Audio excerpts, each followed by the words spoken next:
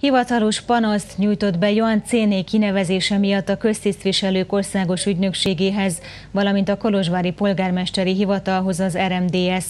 Cénét a Kolozsvári polgármesteri hivatal oktatási, kulturális, vallási, sport és szociális kérdésekkel foglalkozó irodájának vezetésével bízta meg Emil Bok polgármester.